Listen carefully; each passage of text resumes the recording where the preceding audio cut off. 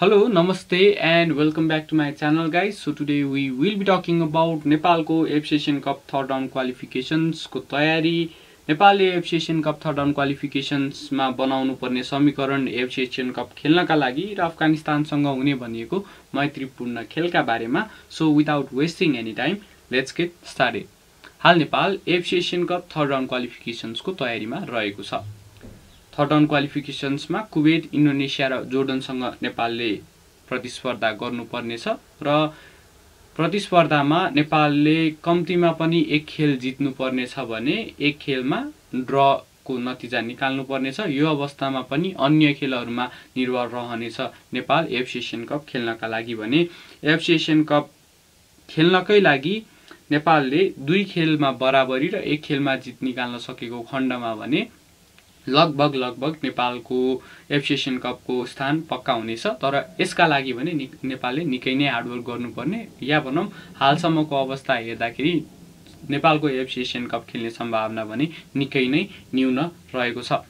विशेष गरी यसमा पनि दुई कारण मान्न सकिन्छ। एक सिनियर खेलाडीहरू एघार सिनियर खेलाडीहरू टिमभन्दा बाहिर छन् जसले पक्कै पनि नेपाली राष्ट्रिय फुटबल टिमलाई काहीँ न काहीँ असर गर्ने नै छ। टिममा एघार सिनियर खेलाडीहरूको अभाव महसुस हुने नै छ भने अर्कोतर्फ नेपालको ग्रासरुट नभएका कारणले गर्दा स्टाइल अफ प्ले राम्रो नभएका कारणले गर्दा र बलिया टिमहरूसँग खेल्दाखेरि नेपालको काहीँ न काहीँ केही न केही कमजोरी देखिने भएका कारणले गर्दाखेरि AFC Asian cup third round qualifications भने नेपालको लागि निकै नै कठिन रहनेछ।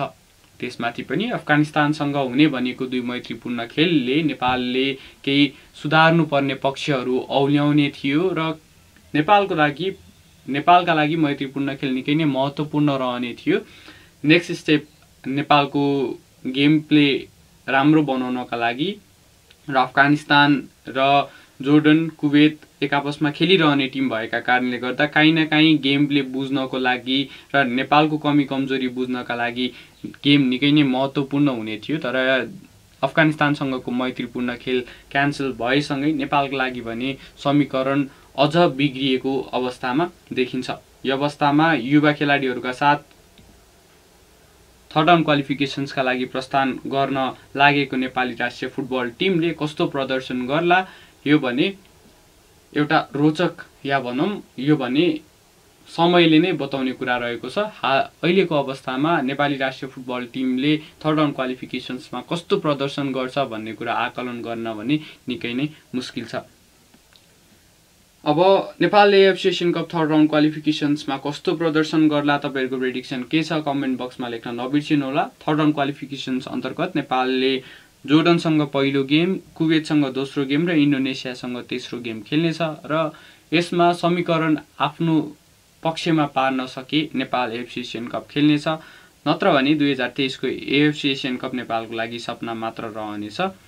तपाईँहरूको प्रिडिक्सन कमेन्ट बक्समा लेख्न नबिर्सिनु होला आजको लागि भने भिडियो यति नै।